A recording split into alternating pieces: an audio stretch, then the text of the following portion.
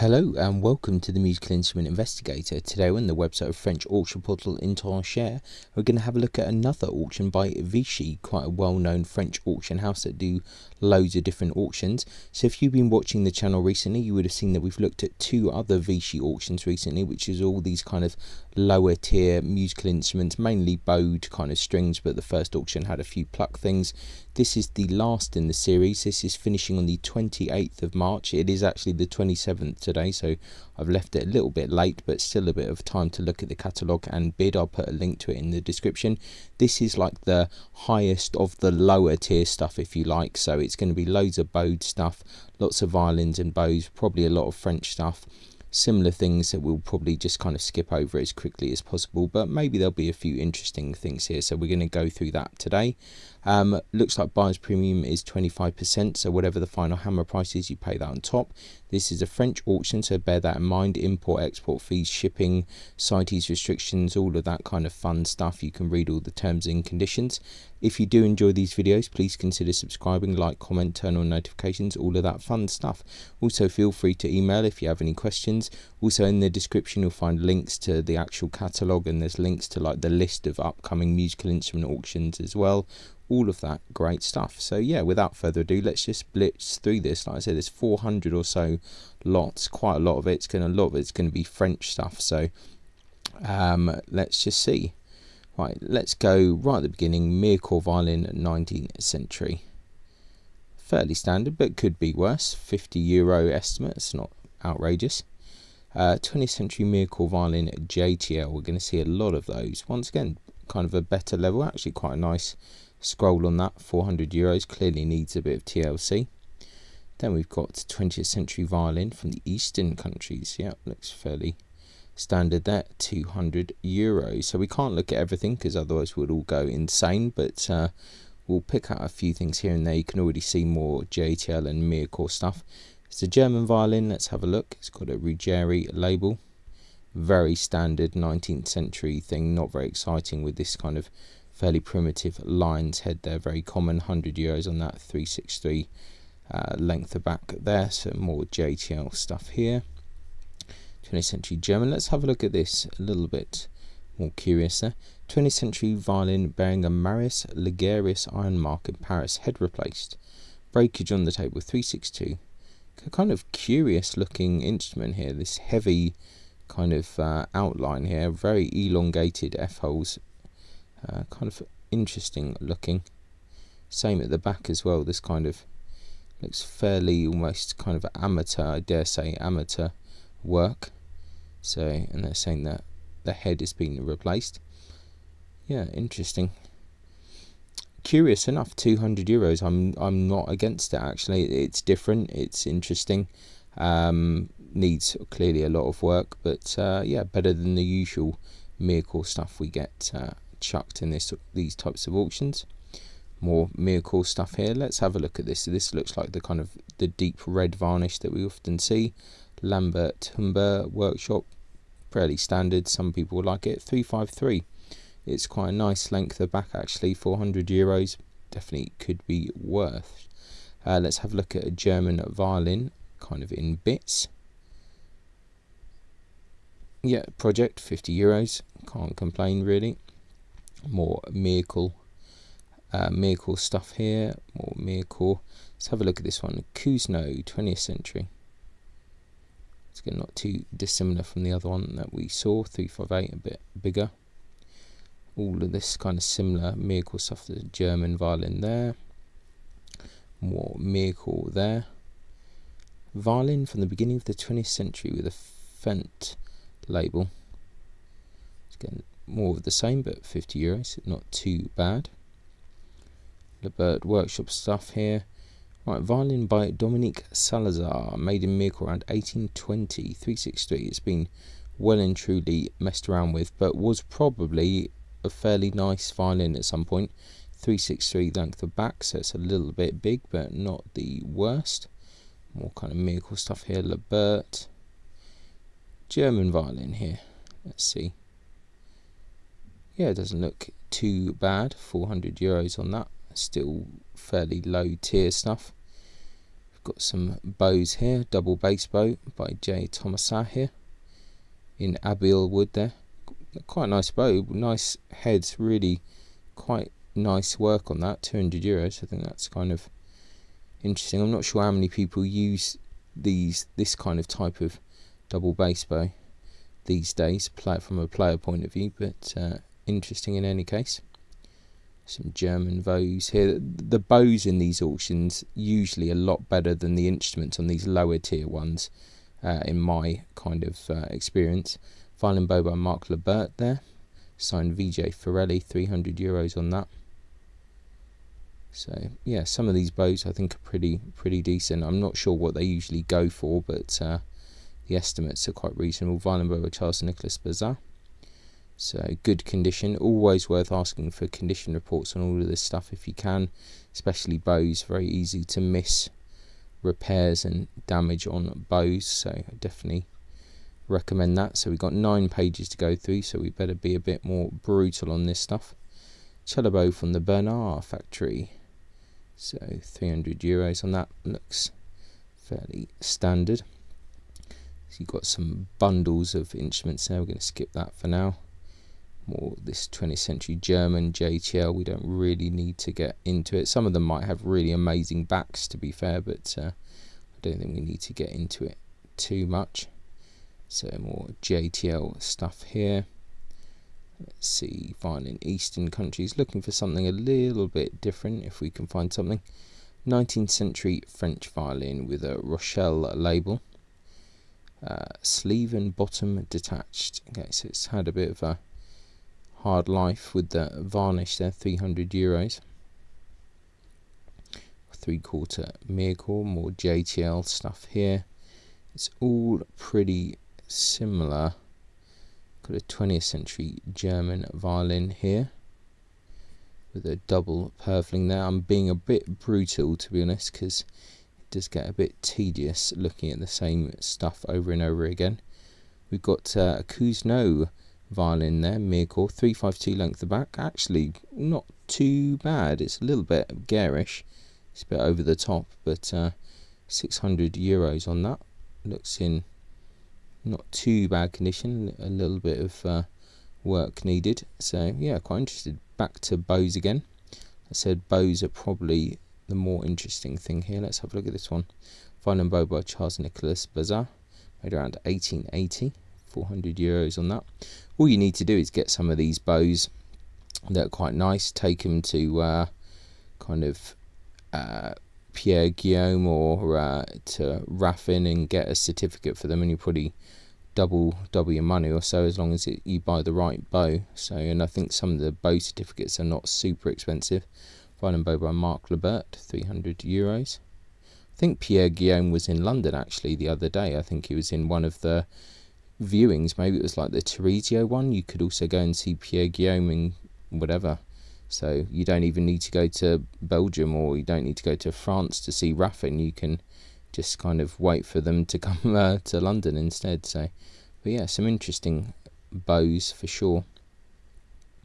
Definitely, if you're interested in bows, take a bit more time and have a look through this auction because there's definitely some cool stuff. Let's look at a JTL bow signed Sarasata Mitra, 300 euros.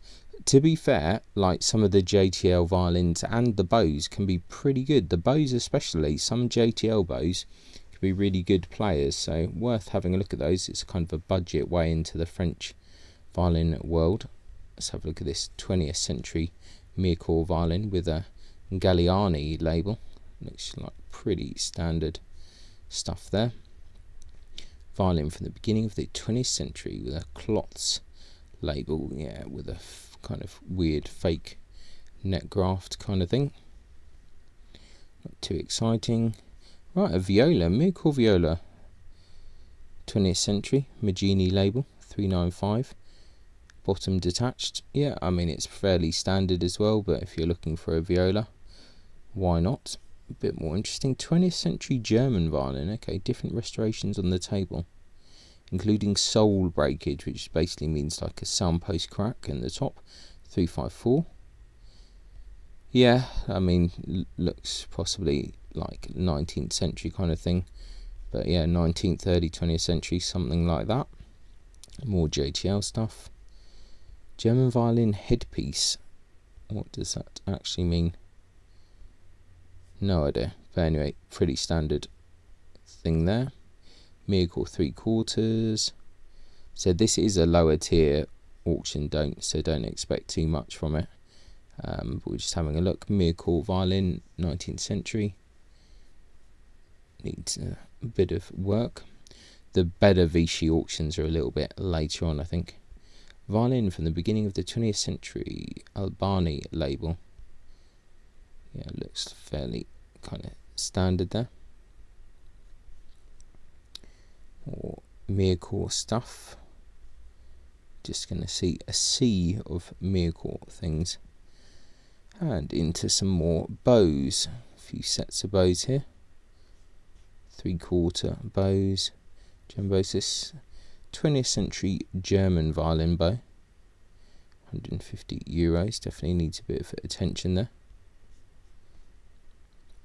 All these bow bundles as well.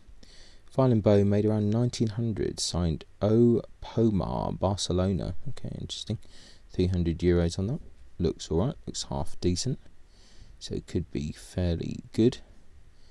Violin bow from the Simon School in Ironwood, mounted in nickel silver yeah interesting looking wood ironwood 200 euros on that moving on because we still have lots left to look at I really like these bows I say in every auction these open trench bows viola bow from the Goud uh, school in exotic wood bone button 300 euros some more stuff here right onto more instruments Mirecourt again all the same stuff, sadly.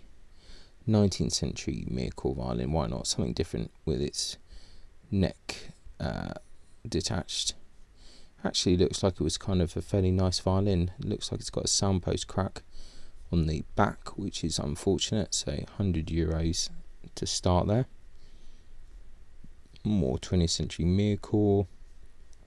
Well, Mirecourt violin labeled Ludovic Riccozali 361. That's actually fairly nice. Quite like this orange Mirecourt uh, varnish that they had. I think that's quite nice. Yeah, not too bad as these things go. So let's have a look at one of these sets of violins. Usually this is all the kind of rubbish stuff dumped in together. It looks pretty standard to be fair. Let's see what else we've got here. Mirecourt violin, late 19th century. Let's have a look at that. It's going to need a bit of work. 150 euros on that. Another 20th century Mirecourt violin. Let's have a look here. All fairly standard to be fair. Slightly weird violin from the eastern countries, I say, yeah, so not a very nice looking instrument to be fair. Uh, to do, do JTL stuff, like I said, some of the JTL stuff can be pretty good. Just scraping the barrel a bit onto bows again. 20th century German bow, nickel silver mounted. So some of the German bows pretty good, 300 euros on that one. But we are just blitzing it through. Quite interesting cello uh, riser, frog, Joseph Arthur Vigneron, her father, button of the Peccatte School. Okay, interesting. 400 years. All right, they're offering a certificate with uh, with that as well, so that's kind of curious. German violin bow in exotic wood. Interesting. Onwards to the next page. A few more bows here. Interesting German bow with this kind of lyre decoration. Actually, the stick and the head looks okay. Doesn't look so nice near the frog. Another one of these cool open trench bows. 20th century Mirecourt violin here. 20th century violin, probably from the German school. Violin by Francois Breton, made in Mirecourt 1821, needs to be reassembled there. 200 euros on that. German three quarter. Okay, violin from the German school at the end of the 19th century. The Strad label. I don't think that's too bad. 400 euros. 350 length about. It's quite small. Half size. 20th century. See, 20th century violin. Oh, done something weird. Bearing the Stark label. Kind of slight Guarneri-ish look at that. 500 euros. Right, 20th century violin, Maggini label. So it's like slightly nicer trade violin. It's got had some worm damage. Wow, that's a huge length of back there. 368. That's going to be probably uncomfortable for a lot of people. 20th century violin with a Scarampella label, damaged varnish. Yeah, look at the kind of the uh, the crackle on that. 100 euros. I don't actually mind that so much. It's got a bit of damage and stuff, obviously. So you need to bear that in mind. More sea of JTL stuff. Violin from the Eastern countries, end of the 19th century. That has had a very difficult life, that one.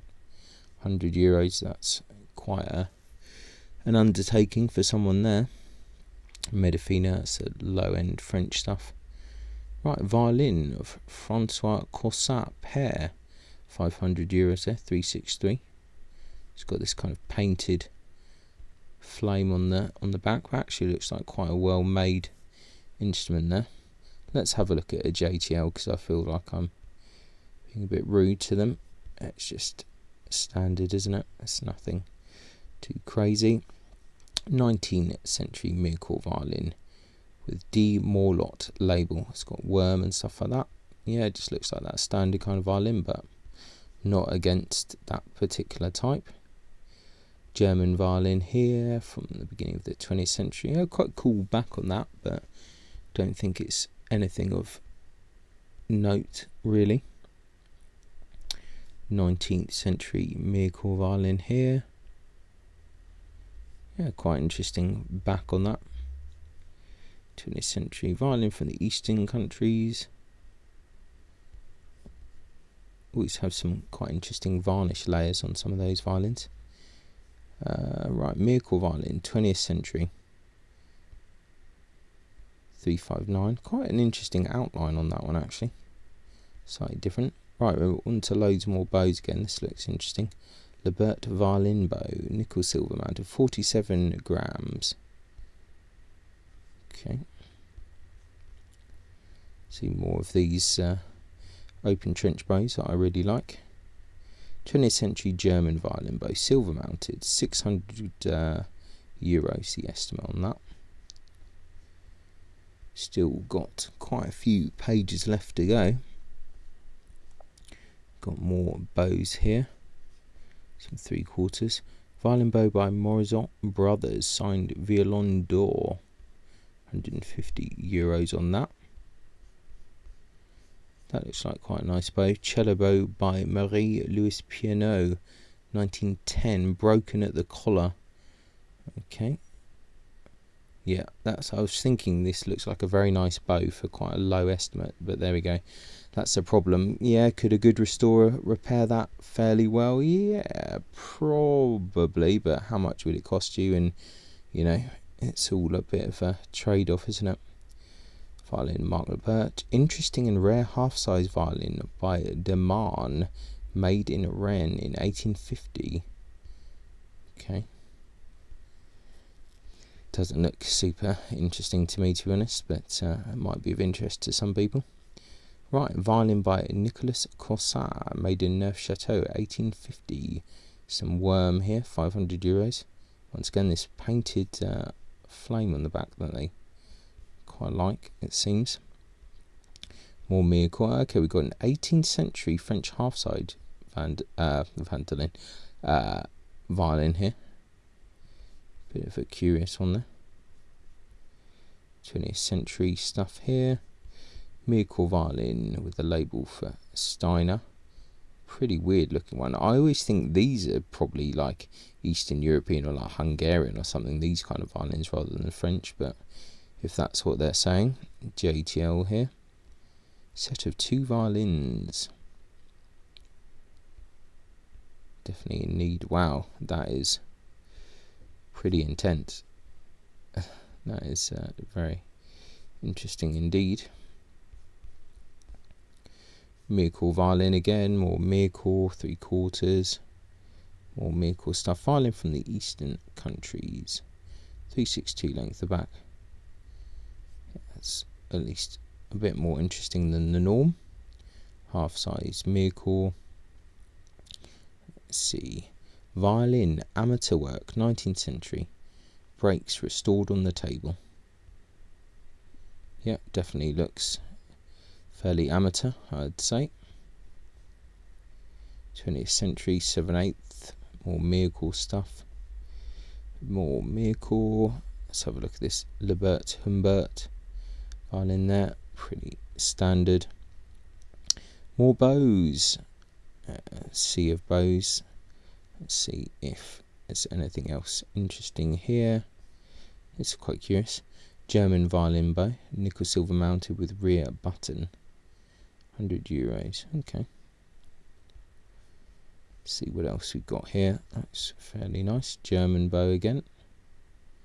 Split and burst on the rise. And frog is a bit funny as well. So definitely some issues there things can be repaired, but it's just is it worth it or who's going to undertake it really? More Mirecourt stuff here. Sea of Mirecourt, 20th century German violin with a Maggini label. That's actually not too bad as those things go. It's got the scroll with the extra turn. More Mirecourt, 18th century violin, probably from the German school. Okay. Well, that's probably one of the most interesting violins so far, and they've taken seemingly quite a few pictures of that. So 400 euros on that one. Three quarter stuff here. Violin, early 20th century. Really interesting uh, button there. It's almost non-existent. It's quite tiny. Let's see more standard stuff here. Uh, it's like a curious uh, varnish is gone from that. Let's see what else we got here. Modern cello. Okay, got cello in this auction of Asian manufacture. Looks very neatly made. To be fair, 200 euros. So can't really argue with that. Quarter size Mirecourt violin. Let's have a look at that of the type here. Violin by Cottereau Deroux, made in Mirecourt. 300 euros on that, that's fine, but it's a bit long. 20th century German violin, we're on to some more bows again. Violin by JTL, 1920, nickel silver. Small dents in the head, collar and wand. Chapped wand knot. Okay. And moving on. Violin bow from the JTL workshops. Signed Picadulac in Abbeville wood there. Yeah, that one 80 euros, looking a little bit for wear. Some interesting bow bundles here though. Let's see what else we've got here. 20th century German cello bow, nickel silver. 100 euros to start on that. Uh, let's have a look at this 20th century German violin bow. 300. Mirecourt violin there, companion label. Okay, violin by Rene Morizon.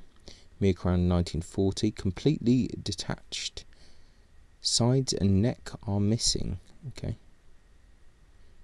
Nice signature there. 50 euros. Well, it could be an interesting project for someone. Why not? German violin there.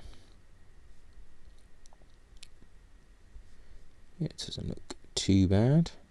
Mirecourt violin, 19th century violin. Nothing super screaming out on me so far. 20th century stuff here. Or 20th century.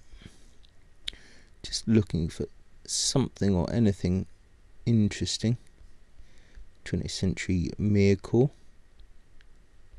yeah, fairly standard stuff set of two violins. That's kind of curious, that first one actually. In a bit of a state, but uh, partly interesting. Violin made in the Jules Levestre workshop in Montlucon 1930. Big crack on the front there. Okay, some more violins, more bows. Are we on to the last page? And is this just bows? Laberte violin bow, signed VJ Forelli Nickel Silver. Good condition. Yeah, I quite like some bows like that. Very simple, like nothing fancy about it at all. But uh, bow from Morizot Frere workshop. Broken in the middle. Okay, so that's to be somewhat problematic. More bows here. 20th century German violin bow. Yeah, it looks like it could be usable. Violin bow by Kunio Huri, signed taut, made around 1900. Baguette with closed knot, mortise chip and back on the baguette, blows on the head side. 200 euros on that. Yeah, looks like it was quite a nice bow. Another open trench one here, but a few good bows here for sure. And uh, yeah, that's basically it. That is the end. So yeah, as always, um, I'll put a link in the description. Check it out, see what you think. Not the most exciting auction, to be quite honest, uh, but bows always seem to be interesting in these auctions. So bows more than anything else. So um, yeah, if you're interested in bows, check it out. So that is the Vichy auction for the 28th of March. So finishing tomorrow. Thanks a lot for watching. I really appreciate it, and I'll catch you next time. Bye.